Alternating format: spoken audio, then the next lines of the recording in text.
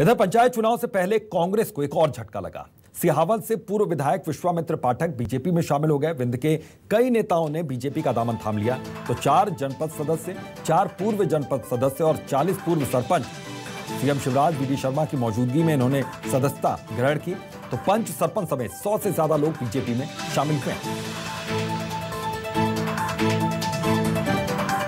तो बड़ी खबर है ये तो कांग्रेस को एक और बड़ा झटका यहाँ पर लगा है। तो सीएम शिवराज और बीडी शर्मा की मौजूदगी में सदस्यता यहाँ पर बहुत से कांग्रेसी नेताओं ने लिया। पंच सरपंच समेत सौ से ज़्यादा लोग बीजेपी में एक साथ शामिल हुए।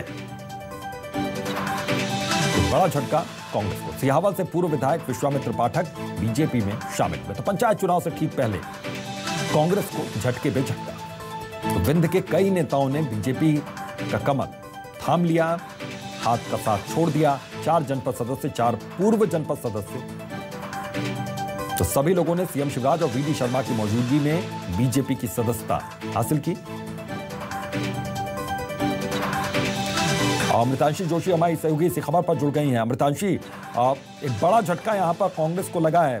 क्या कहना है? वजह क्या बताई इन सभी लोगों ने कि ये छोड़ रहे हैं कांग्रेस? इसके पीछे की असल वजह क्या निकलकर सामने आई? किसी बात हुई होगा तो।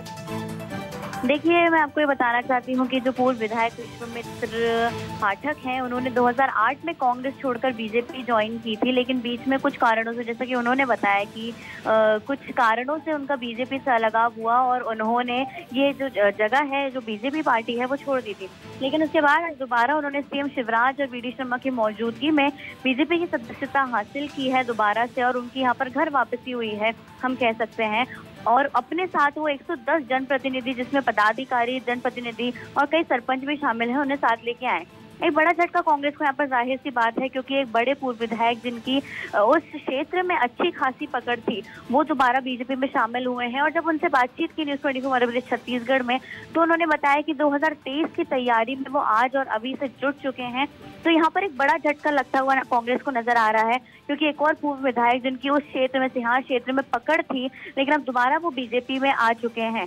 तो कहीं ना कहीं बीजेपी के लिए ये बड़ी फ़ायदेमंद चीज़ है, क्योंकि उस क्षेत्र में मज़बूत करने का इरादा बीजेपी दोबारा लेके चलेगी और कांग्रेस को एक बड़ा झटका यहाँ पर दोबारा मिलता हुआ नज़र आएगा, क्योंकि एक और क्षेत्र में अब कांग्रेस को दोबारा मेहनत करने की ज़रूरत करनी पड़ेगी।